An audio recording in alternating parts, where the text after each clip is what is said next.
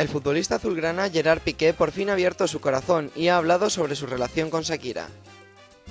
La cantante y el deportista oficialmente juntos desde el mes de enero han comentado que están muy felices.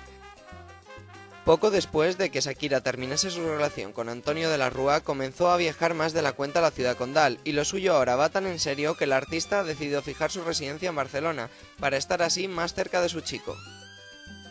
Piqué declara al diario Mundo Deportivo lo bien que está al lado de la estrella y revela que todavía se está acostumbrando a ser el centro de todas las miradas, ya que aunque ambos son muy discretos, desde que están juntos son el blanco de todos los flashes. A los dos se les ve muy enamorados e ilusionados con su relación.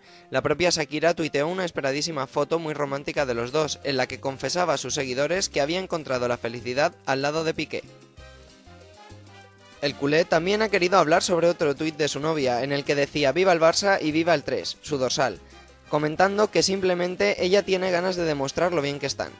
Ambos pasan un momento dulce y quieren dejarlo claro, y es que ninguno de los dos podría disimularlo aunque quisiesen.